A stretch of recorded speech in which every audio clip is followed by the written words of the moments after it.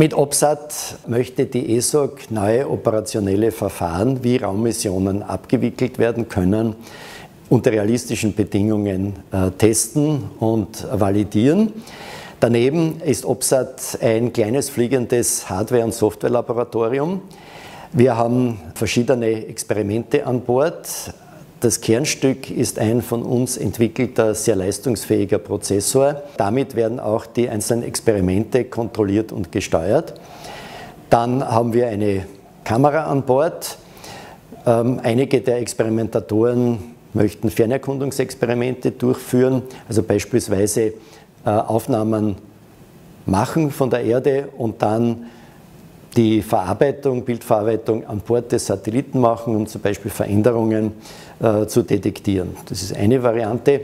Dann äh, haben wir einen programmierbaren Funkempfänger an Bord. Das ist auch ein Experiment äh, der TU Graz.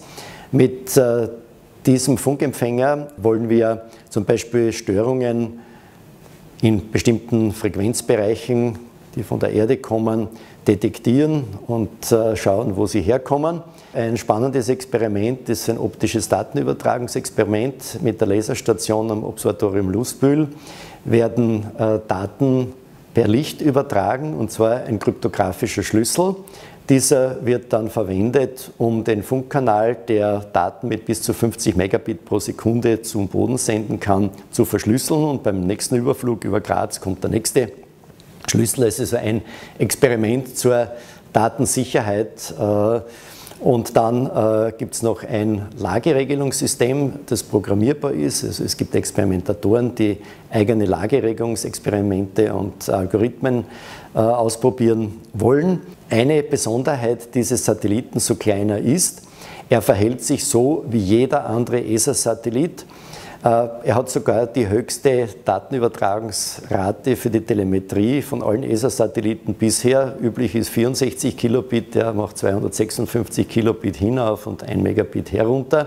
Wir können auch äh, komplette Softwareprogramme im Flug hinaufladen und ändern. Normalerweise macht man das nicht. Wenn die Software einmal getestet ist, dann rührt man nichts mehr an. Aber hier soll gerade für zukünftige Missionen ausprobiert werden, wie kann man zuverlässig und sicher Flugsoftware im Flug ändern.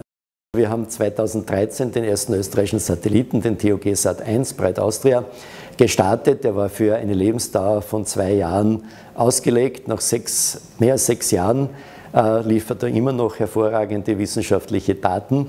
Und ähm, sehr spannend ist natürlich der Start, aber eigentlich der spannendste Moment ist, wenn er sich beim Erstkontakt das erste Mal meldet. Das sieht man dann auch am Spektrumanalysator, dass das Funksignal äh, da ist. Das ist ein herrlicher Moment, wenn man weiß, das funktioniert.